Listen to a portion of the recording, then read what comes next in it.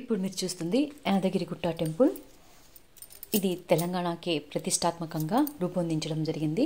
మనకి ఆంధ్రలో తిరుపతి ఎలాగో ఇక్కడ యాదగిరిగుట్ట అలా ఫేమస్ అయిపోయింది. చాలా బాగుంది టెంపుల్ అయితే. చాలా పెద్దగా కూడా కట్టారు. స్పేషియస్గా ఉంది. బయట చుట్టూతో అయితే చూస్తున్నారు కదా ఎంత స్పేషియస్గా ఉందో. శిల్పకళ కానీ అన్నీ ఎంతో బాగుంది. దీనికి నాలుగు గోపురాలు ఫోర్ సైడ్స్ నుంచి నాలుగు గోపురాలు ఉన్నాయి. టూ సైడ్స్ ఏమో సింహాలు పెట్టారు ద్వారపాల అంటే ద్వారానికి అటు ఇటు. టూ సైడ్స్ ఎలిఫెంట్స్ పెట్టున్నారు.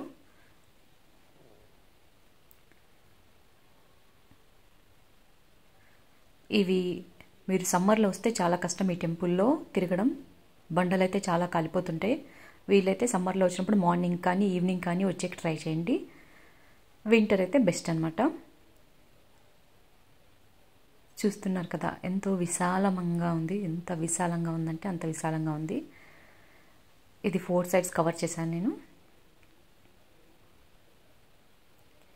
మేమైతే వింటర్లో పోయాం కాబట్టి అంత కాళ్ళు అయితే ఏం కాలేదు ఆ గోల్డ్ కలర్ కనిపిస్తుంది కదా అది క్యూ లైన్స్ అనమాట సర్వదర్శనం ఉంటుంది కదా ఫ్రీ దర్శనానికి క్యూ లైన్స్. మామూలుగా వన్ ఫిఫ్టీ రూపీస్ తీసుకుంటే డైరెక్ట్ ఎంట్రీ ఉంటుంది. అంత క్యూ ఏమి ఉండదు. ఇక్కడ టెంపుల్ నుంచి ఆలోచిస్తారు. అదే మామూలు ఫ్రీ దర్శనం అయితే కింద నుంచి క్యూలో రావాలి. చాలా ఉంటుంది తిరగడానికి. అందుకని కుదిరితే వన్ ఫిఫ్టీకి వెళ్ళండి. ఇంకా త్రీ హండ్రెడ్ రూపీస్ దర్శనం ఉంటుంది బ్రేక్ దర్శనం.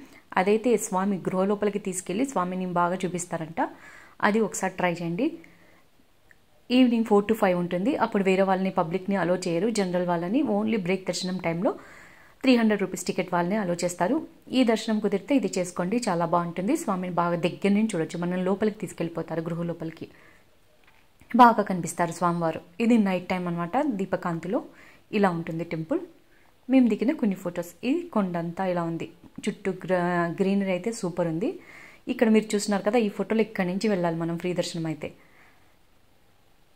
మీరు పెద్దవాళ్ళు ముసలి వాళ్ళు అలా ఉంటే వాళ్ళని డైరెక్ట్ అలో చేస్తారు.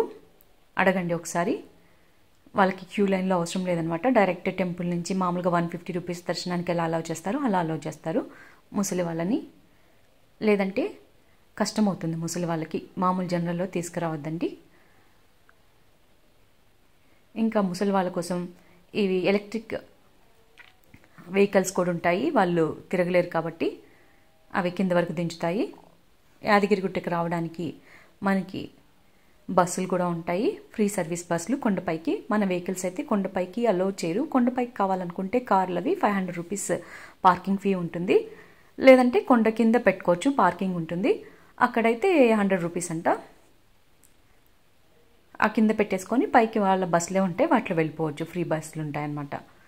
ఇదివరకు ఆటోలు కూడా అలో చేసేవాళ్ళు. పైకి ఇప్పుడు ఆటోలు కానీ ఏం అలో చేయరు. షాపింగ్ కాంప్లెక్స్లు అన్నీ ఉండేవి. పైన ఇప్పుడు అన్నీ తీసేశారు మొత్తము. ఏం లేదు ఓన్లీ టెంపుల్ మాత్రమే ఉంటుంది. ఒకసారి దర్శించుకోండి చాలా బాగుంటుంది. హాలిడేస్ అప్పుడైతే కొంచెం ఎక్కువ రష్ ఉండొచ్చు కొంచెం హాలిడేస్ కాని టైంలో అయితే కొంచెం బాగుంటుంది. ఇంకా పండగలు కాని టైంలో కొంచెం ఫ్రీగా దర్శనం చేసుకోవచ్చు. మేము వెళ్ళినప్పుడు అయితే జనమే లేరు.